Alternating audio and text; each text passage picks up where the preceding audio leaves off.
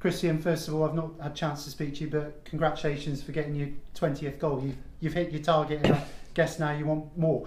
Yeah, well, thank you very much. Um, it's obviously something that um, I said pretty early on in uh, my career at Forest Green, and I'm really, really happy to have done it. I, a lot of a lot of banter with the boys and stuff like that, saying that you shouldn't really um, get a goal uh, target as much as that. But I'm really happy I've got it now, and I've just got to keep pushing now. Ten games left, and who knows what can happen.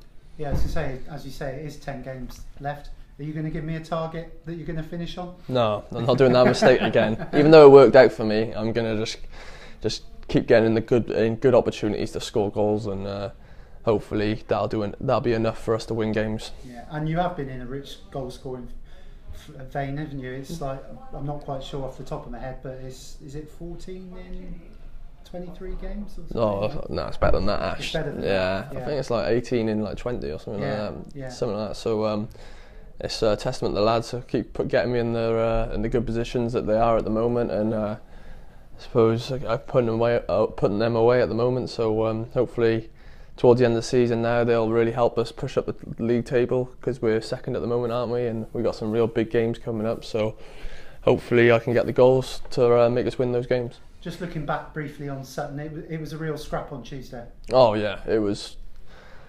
It was a hard, hard game. They're um, they're known for, for what they do, and um, it was it was a real hard game. We we got the two early goals, and uh, we done we done great, and then. Uh, towards the towards the second half of the game, they, they, they started to dominate us. But it was good that we um, we got rid of all the balls going into our boxes and, and stuff like that. So the boys at the back done tremendous. So um, we was we was buzzing with that result.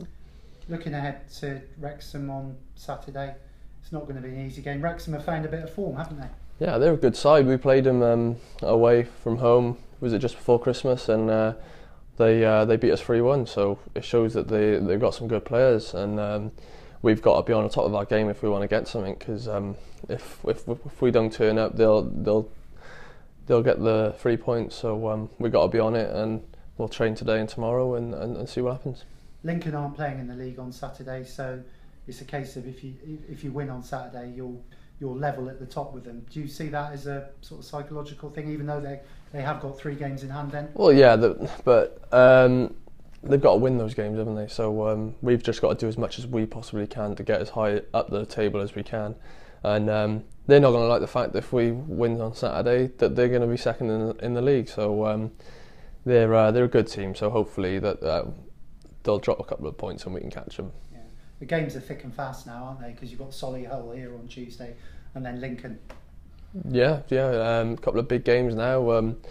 Like we always say, no games in this league is is, is easy. Um, Wrexham, then Solihull, then Lincoln, three real hard games, and um, with good players in each team. So we've got to be on it now, and uh, it's the business end of the season where we've got to find results.